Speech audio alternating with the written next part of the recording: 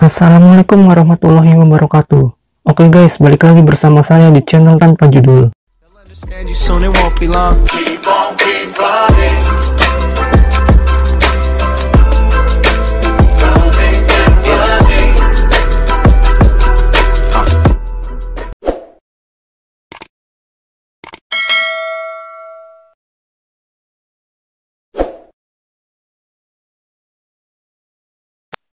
Oke guys, di video kali ini Minecraft Pocket Edition update lagi ke versi terbaru, yaitu versi 1.14.1.4. Ini tuh official ya guys. Ini tuh merupakan update tanggal 18 Desember 2019. Di video kali ini tuh saya mau ngasih tahu apa aja yang terbaru di updatean kali ini guys. Kalian bisa simak aja videonya sampai selesai.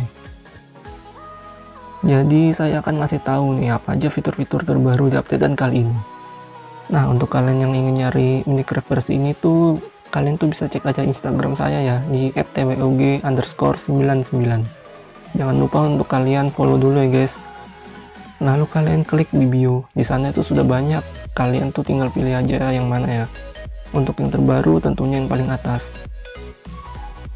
Ya bagi kalian yang ingin membaca feedbacknya, kalian bisa lihat deskripsi karena sudah saya post di sana. Jadi kalian bisa baca dan updatean apa aja yang yang ada di versi ini. Oke guys nggak usah lama-lama lagi guys. Kita mau review gamingnya guys. Yang pertama-tama itu kita itu buat wordnya dulu guys dan masukkan nama kalian itu terserah kalian. Di sini saya namain new lalu gua pilih yang yang kreatif lalu kalian centang yang ini aktifkan use eksperimental gameplaynya guys. Lalu di sini saya main. Dan ini dia guys. Kita sudah berada di dalam wordnya guys. Dan di sini saya akan coba apa aja yang ada di feedback tadi ya guys. Akan saya coba. Ya Minecraft ini rutin banget update ya guys. Seminggu sekali dan bahkan seminggu dua kali guys. Seperti minggu ini ya guys.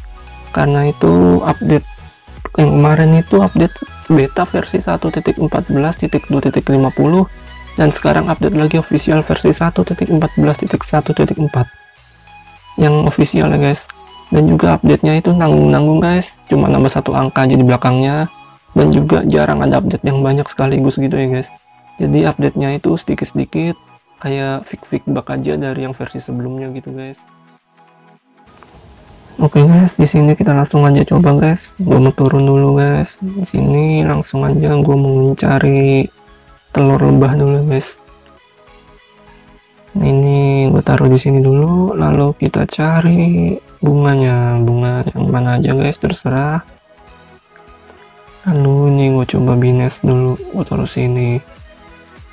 Oke, di sini gue cuma mau ngetes. Oh sebenarnya udah ada bunga ya guys, ya tapi apa-apa lah cuma udah ngambil. Hancurin dulu rumputnya guys. Malah tanahnya hancur guys.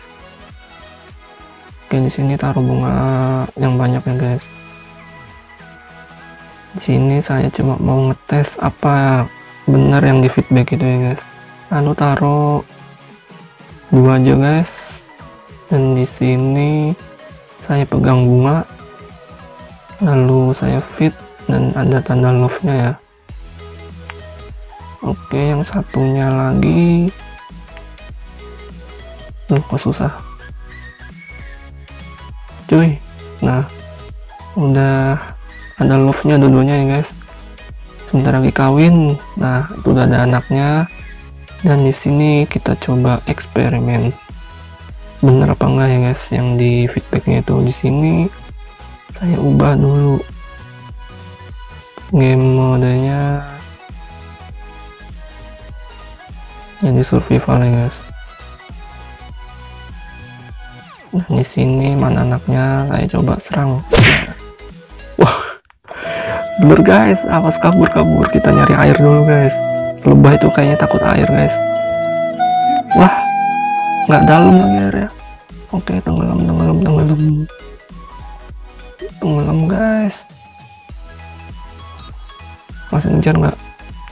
Oh udah nggak ngejar guys ngeri guys. Ini gue ubah lagi lah. Gue cuma mau mastiin doang sebenarnya guys.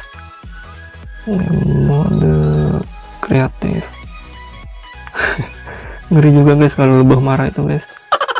Sebenarnya gue cuma mau ngetes doang ya di sini. Bener apa nggak di feedbacknya yang ternyata adalah benar guys. Di sini kalau misalnya mode kreatif ini kalau diganggu ya nggak akan apa-apa guys. Jadi itu marahnya itu kalau di mode survival aja guys. Coba ini gua taruh